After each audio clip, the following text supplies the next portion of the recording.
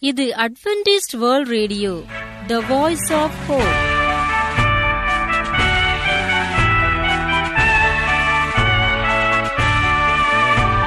வணக்கம் அன்பர்களே. ஆண்டவராகிய இயேசு கிறிஸ்துவின் இனிய நாமத்தில் உங்களை வாழ்த்தி எங்களது ஒலிபரப்பை கேட்க ஆவலுடன் வரவேற்கிறோம். வாழ்க்கைக்கு வழிகாட்டும் எங்கள் ஒலிபரப்பில் இன்று இடம்பெறவிருக்கும் நிகழ்ச்சிகள் உடல் நலத்திற்கான ஆலோசனைகள் ஆன்மீக நலத்திற்கான தேவ செய்திகள் மற்றும் காதிற்கினிய கீதங்கள். இவைகள் அனைத்தையும் கேட்டு பயனடைய அன்புடன் அழைக்கிறோம். இன்றைய உலகில் வியாதிகளின் எண்ணிக்கையை கணக்கிட முடியாது.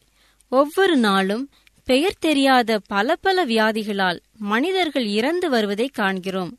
இந்த சூழலில் நீங்கள் ஆரோக்கியமாக இருக்க வேண்டும் என்று நாங்கள் விரும்புகிறோம்.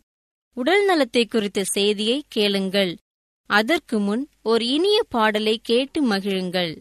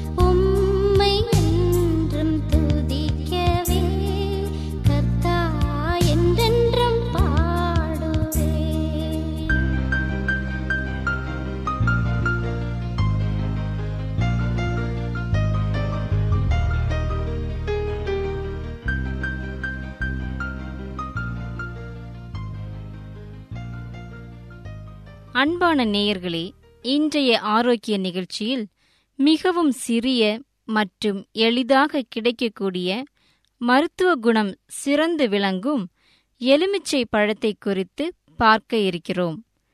எலுமிச்சை பழம் கிடைக்காத இடமே கிடையாது. நாம் எந்த ஊருக்கு சென்றாலும் இந்த பழத்தை பார்க்கலாம். இதனுடைய தாவரவியல் பெயர் சிட்ரஸ் அராண்டிபோலியோ. இதில் சிட்ரிக் அமிலம் அதிகமாக இருக்கிறது. கொடி எலுமிச்சை நாட்டு எலுமிச்சை மற்றும் மலை எலுமிச்சை என எலுமிச்சையில் பல வகைகள் உள்ளன. எலுமிச்சை மரியாதை நிமித்தமாக வழங்கும் ஒரு பொருளாகவும் இருக்கிறது. எலுமிச்சை நமக்கு எந்தெந்த விதங்களில் பயன்படுகிறது என்று பார்ப்போம். விட்டமின் சி குறைவால் வருகிற ஸ்கர்வி நோய்க்கு நல்ல மருந்து இது. வயிறு சம்பந்தமான நோய்களுக்கு இது சிறந்த மருந்து. வயிற்று வலியை போக்குகிறது. வயிற்றோட்டம் மற்றும் வாந்திக்கு நல்ல மருந்து எலுமிச்சை. சீனி சேர்த்து எலுமிச்சம்பழ சாற்றுடன் ஒரு கிராம் அளவு உப்பு சேர்த்து இரண்டு வேளை கொடுக்க வாந்தி வயிற்றோட்டம் நிற்கும். இதனால்தான் சிறு பிள்ளைகளுக்கு பஸ்ஸில் பிரயாணம் போகும்போது வாந்தி வந்தால் எலுமிச்சை பழத்தை முகர்ந்து பார்க்க கொடுப்பார்கள் பெற்றோர்கள். இது பசியை ஏற்படுத்தும். ஜீரணத்தை ஊக்குவித்து உடலுக்கு உறுதியை தருகிறது. தாகத்தை தணிப்பதில் எலுமிச்சை பழசாறு சிறந்தது. இது கல்லீரல் கோளாறை போக்குகிறது. நுரையீரல் நோய்க்கும் சிறந்த மருந்தாக உதவுகிறது. கணையப்பெருக்கம் தொடர்பான நோய்களுக்கு எலுமிச்சை ஊறுகாய் சிறந்த மருந்து. பித்த மயக்கம் தோல் நோய்கள் டைபாய்டு காய்ச்சல் பைத்தியம் இவற்றிற்கு சிறந்த மருந்து எலுமிச்சை. டைபாய்டு எனப்படும் குடல் புண் காய்ச்சலுக்கு எலுமிச்சை பழசாற்றில் பாலை கலந்து அது திரிந்து கொடுக்கலாம். அதை வடிகட்டிய பிறகு துணை மருந்தாக கொடுக்கலாம். இந்த பழசாற்றை தலைக்கு தேய்த்து அரை மணி நேரம் கழித்து குளிக்க வேண்டும். ஜீரகத்தை இச்சாற்றில் ஊற வைத்து உலர்த்தி ஐந்து கிராம் அளவு கொடுத்து வர நாற்பத்தி எட்டு நாட்களில் பைத்தியம் குணமாகும். வாய்ப்புண் இருக்கிறவர்கள் எலுமிச்ச சாற்றோடே சம அளவு நீர் சேர்த்து கொப்பளிக்கலாம். நீரிழிவு நோய் உள்ளவர்கள் எலுமிச்சம் பழசாறுடன் கொதிக்கும் நீர் கலந்து குடிக்கலாம். கொசுக்கடியிலிருந்து தப்பிக்கவும் இது உதவுகிறது. இரவு தூங்குவதற்கு முன்னால் இந்த சாற்றை உடலில் பூசிக்கொண்டு படுத்தால் கொசு கிட்டவே வராது. கொசுக்கடியால் உண்டாகிற எரிச்சல் குடைச்சல்களுக்கு கடித்த இடத்தில் எலுமிச்சை பழசாற்றை தடவ வேண்டும். எலுமிச்சை பழத்தின் மிக முக்கியமான பயன்களில் ஒன்று பிற மருந்துகள் கெடாமல் பாதுகாப்பது. நாம் அடுத்த நாள் பயன்படுத்த வேண்டிய சாதத்தை எலுமிச்சை சாறு கலந்து எலுமிச்சை சாதம் செய்து வைக்கிறோம். இத்தனை பயன்களை உடைய எலுமிச்சை பழத்தை அதிகமாக பயன்படுத்தினால் சுண்ணாம்பு சத்தை கரைத்து எலும்பின் ஆற்றலை இழக்க வைக்கும். எனவே எந்நேரமும் எலுமிச்சையை உபயோகிப்பதை தவிர்க்க வேண்டும். பருமனாக இருப்பவர்கள் கூட சிறிது சூடான தண்ணீரில் எலுமிச்சை சாறு மற்றும் தேன் கலந்து தினமும் குடித்து வந்தால் எடை குறையும். எலுமிச்சையை சரியான முறையில் உபயோகித்து நாம் ஆரோக்கியமாக வாழ்வோம். நீங்கள் அட்வென்டிஸ்ட் வேர்ல்ட் ரேடியோவின் ஒலிபரப்பை கேட்டுக்கொண்டிருக்கிறீர்கள். எங்களுடைய முகவரி அட்வென்டிஸ்ட் வேர்ல்ட் ரேடியோ தபால் பெட்டி எண் பதினேழு புனே நான்கு ஒன்று ஒன்று பூஜ்ஜியம் பூஜ்ஜியம் ஒன்று மகாராஷ்டிரா இந்தியா. இன்றைய வாழ்க்கை பிரச்சனைக்கு தீர்வு காண விரும்புகிறீர்களா? சத்திய வசனத்தை கேளுங்கள். இன்றைய செய்தியை போதகர் பிராங்க்லின் அவர்கள் வழங்க இருக்கிறார். அதற்கு முன்னதாக உங்களுக்காக ஒரு இனிய பாடல் வருகிறது கேளுங்கள்.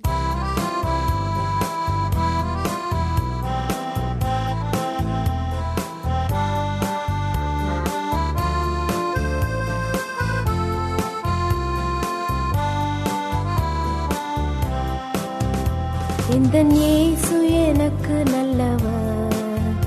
அவர் என்றென்றும் போதுமானவர். ஆபத்தில் வியாதியில் என் பிரயாசங்களில் அவர் என்றுமே போதுமானவர். ஆபத்தில் வியாதியில் என் பிரயாசங்களில் அவர் என்றுமே போதுமான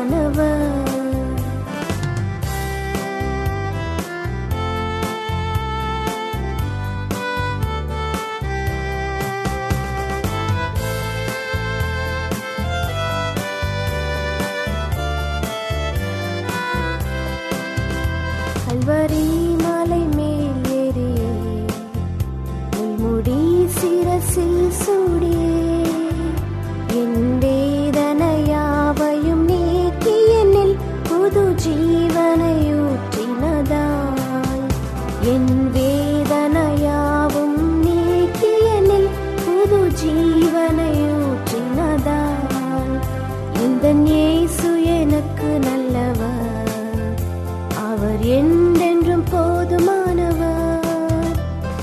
ஆபத்தில் வியாதியில் என் பிரயாசங்களில் அவர் என்றுமே போதுமானவர்.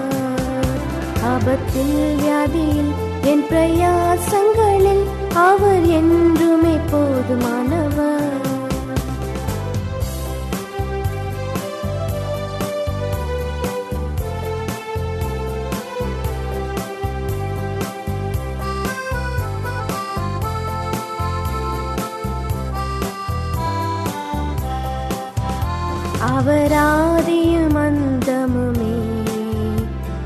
ஸ்நேகத்தின் பிறப்பிடமே.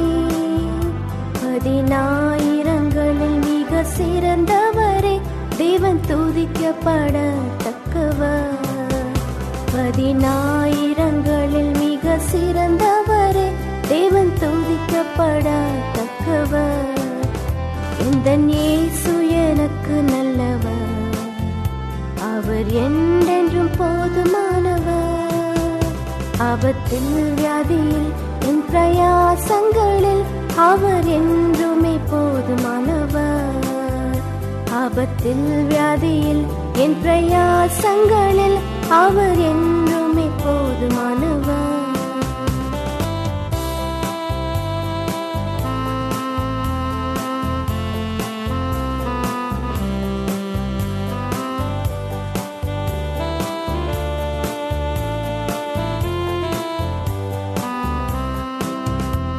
அதன் ஏக்கம் எல்லாம் நீங்கி போம். கண்ணீர் யாவையும் துடைத்திடுவார். இசுராஜவை வானத்தில் வெள்ளிப்படும் நாள் நான் அவருடன் பறந்திடுவேன். இசுராஜவை வானத்தில் வெளிப்படும் நாள் நான் அவருடன் பறந்திடுவேன். இந்த இயேசு எனக்கு நல்லவர். அவர் என்றென்றும் போதுமானவர் ஆபத்தில் வியாதியில் என் பிரயாசங்களில் அவர் என்றுமே போதுமானவர் ஆபத்தில் வியாதியில் என் பிரயாசங்களில் அவர் என்றுமே போதுமானவர் அவர் என்றுமே போதுமானவர் அவர்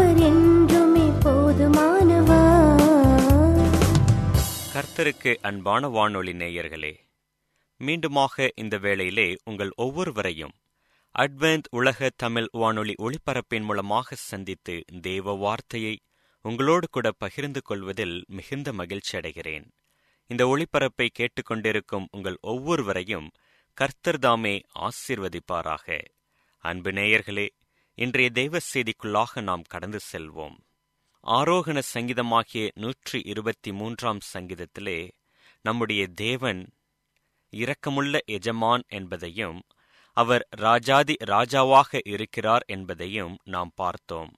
அவர் ஏற்படுத்தி இருக்கக்கூடிய சட்ட திட்டங்களுக்கு நாம் கீழ்ப்படிந்து மற்றவர்களுடைய பிரயோஜனத்தை நாம் நாடும் பொழுது நமக்கு அது ஆசீர்வாதத்தை தரும். நம்முடைய தேவைகளை நம்முடைய எஜமான் சந்திப்பார் என்பதாக நாம் பார்த்தோம். அது மாத்திரம் அல்ல அன்பர்களே. நம்முடைய தேவன் நியாயமான நீதிபதியும் கூட. தேவ சித்தப்படி நீங்கள் நடக்கும்போது மற்றவர்கள் உங்களை வேதனைப்படுத்தலாம். ஆனால் நம்முடைய ஆண்டவர் நியாயமான நீதிபதியாக இருக்கிறார். அவரிடம் உங்கள் பிரச்சனையை எடுத்து செல்லலாம். அதைத்தான் சங்கீதக்காரர் செய்தார். நூற்றி இருபத்தி மூன்றாம் சங்கீதம் மூன்று மற்றும் நான்காம் வசனத்தை வாசிக்கிறேன் கேளுங்கள். எங்களுக்கு இறங்கும் கர்த்தாவே எங்களுக்கு இறங்கும் நிந்தனையினால் மிகவும் நிறைந்திருக்கிறோம். சுகஜீவிகளுடைய நிந்தனையினாலும் அகங்காரிகளுடைய இகழ்ச்சியினாலும் எங்கள் ஆத்மா மிகவும் நிறைந்திருக்கிறது. ஆம். எந்த கஷ்டமும் இல்லாமல் வாழ்பவர்களே சுகஜீவிகள். பிறர் கஷ்டங்களை புரிந்து கொள்ள அவர்களால் முடியாது. பிறர் கஷ்டத்தை நாம் புரிந்து கொள்ள வேண்டும் என்பதற்காகவே தேவன் சில சமயங்களில் நமக்கு கஷ்டங்களை அனுமதிக்கிறார். அகங்காரிகள் தங்களைப் பற்றி பெருமையாக நினைப்பவர்கள் மற்றவர்களை கேவலமாக பேசுபவர்கள். நாம் நம் நீதிபதியிடம் அதை குறித்து சொல்லலாம். அவர் பார்த்து கொள்வார். சீனாவில் விதவையான ஒரு ஏழை தாயும் அவளுடைய மகனும் மிக குறைந்த வருமானத்தில் வாழ்க்கை நடத்தி வந்தார்கள். ஒரு நாள் கடைத்தெருவில் அந்த மகன் ஒரு பர்ஸை கண்டெடுத்தான். அதற்குள் பணம் இருந்ததால் வேகமாக ஓடி வந்து அதை தன் தாயிடம் கொடுத்தான். தாய் அந்த பர்ஸை திறந்து பார்த்தபோது அதிலிருந்து பதினைந்து தங்க நாணயங்கள் விழுந்தன. சிறுவனுக்கு மிகுந்த சந்தோஷம். தங்கள் பணப்பிரச்சனை தீர்ந்துவிட்டது என்று அவன் மகிழ்ச்சியடைந்தான் ஆனால் அவன் தாய் அவனிடம் மகனே இது நமது பணம் அல்ல. நம்முடையதல்லாத எதன் மேலும் நாம் ஆசைப்படக்கூடாது என்று அறிவுரை கூறினாள். உரிமையாளரை கண்டுபிடித்து அதை கொடுத்துவிட வேண்டும் என்று அனுப்பி வைத்தாள். அவன் மிகுந்த சிரமத்துடன் உரிமையாளரை கண்டுபிடித்து அதை திருப்பிக் கொடுத்தான். அந்த உரிமையாளரோ பேராசைக்காரன். தன் பர்ஸ் கிடைத்ததற்காக நன்றி சொல்வதற்கு பதிலாக இதை வைத்து இன்னும் கொஞ்சம் பணம் சம்பாதித்து விடலாம் என்று நினைத்தான். அதனால் என்னுடைய கைப்பையில் முப்பது நாணயங்கள் இருந்தன. இவன் பதினைந்தை திருடிவிட்டான் என்று பொய் சொல்லி அந்த சிறுவனை நீதிபதியிடம் கொண்டு சென்றான். நன்றி சொல்லாவிட்டாலும் பரவாயில்லை. பொய்யாக திருட்டு பட்டம் கட்டிவிட்டானே என்று சிறுவனுக்கு தன் தாய்மேல் கோபம் கோபமாக வந்தது. தாயோ அவனிடம் நீ இதயத்தில் சுத்தமுள்ளவனாக இருக்கும்போது தேவன் உனக்கு உதவி செய்வார் கலங்காதே என்று ஆறுதல் சொன்னாள்.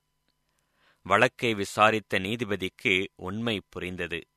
ஆகவே அவர் இந்த மனிதர் தொலைத்த கைப்பையில் முப்பது பொற்காசுகள் இருந்தன. ஆனால் இந்த கைப்பையில் பதினைந்து நாணயங்கள்தாம் உள்ளன. எனவே இந்த கைப்பை இந்த மனிதருடையதாக இருக்க வழியில்லை. பதினைந்து பொற்காசுகளுடன் கைப்பை தொலைந்ததாக வேறு யாரும் என்னிடம் இதுவரை சொல்லவும் இல்லை.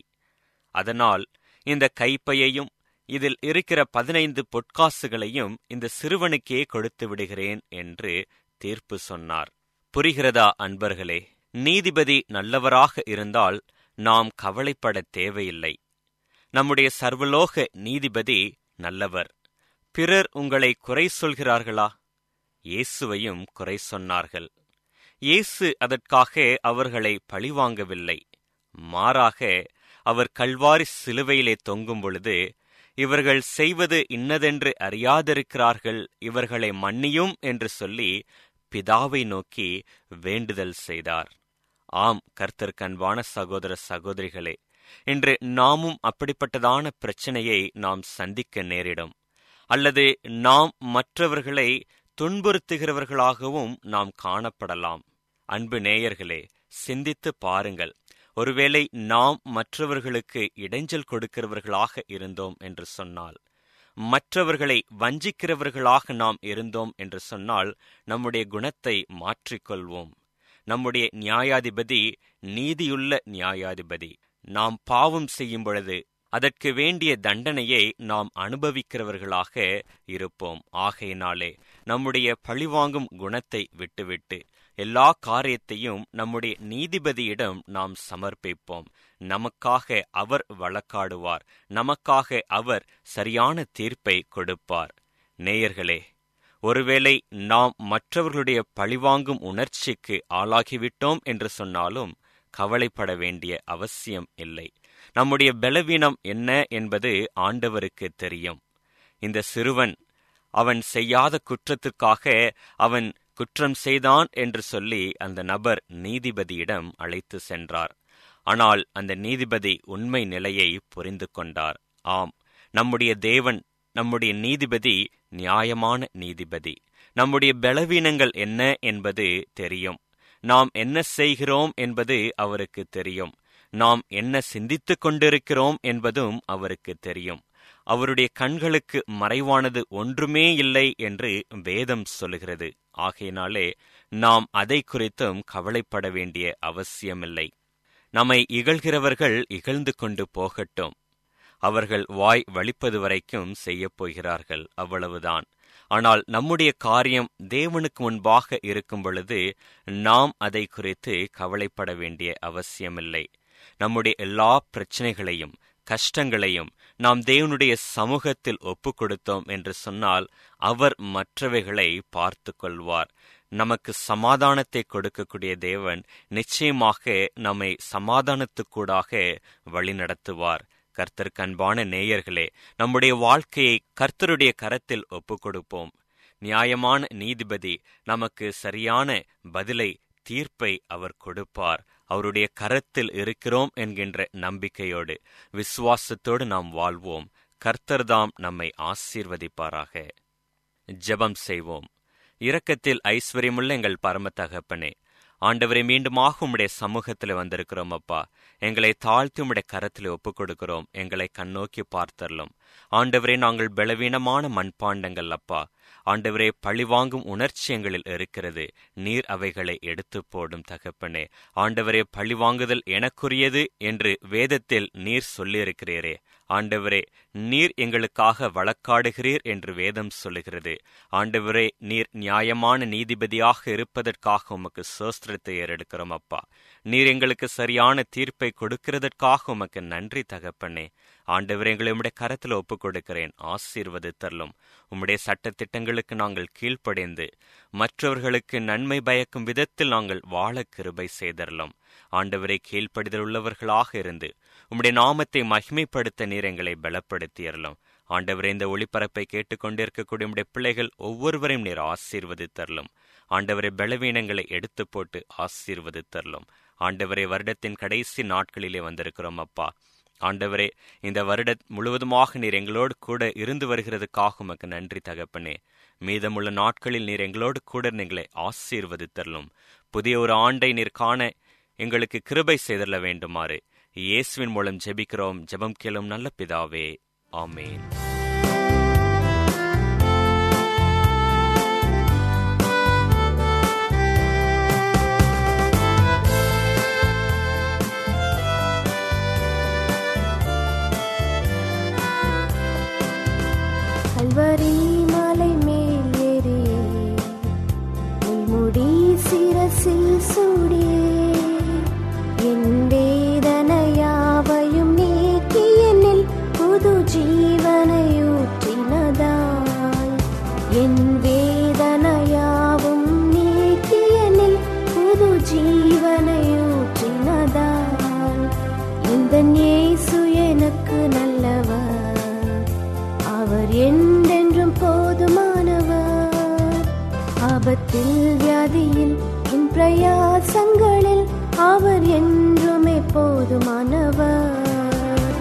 ஆபத்தில் வியாதியில் என் பிரயாசங்களில் அவர் என்றுமே போதுமானவர்.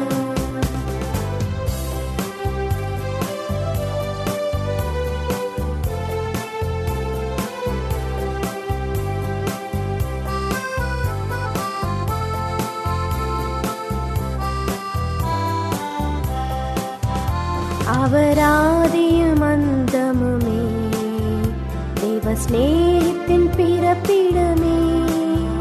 பதினாயிரங்களில் மிக சிறந்தவரே தேவன் துதிக்கப்படத்தக்கவர்.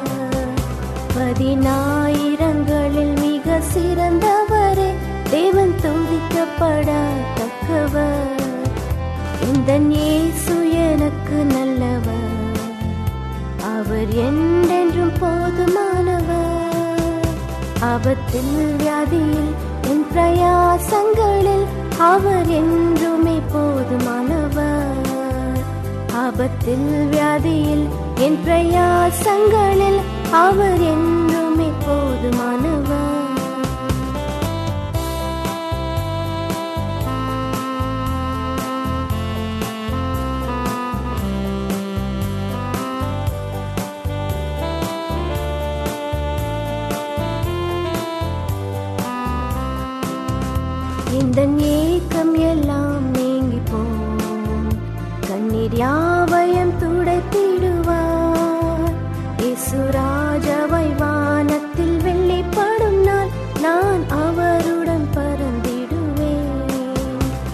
இசுராஜவை வானத்தில் வெளிப்படும் நான் நான் அவருடன் பறந்திடுவேன்.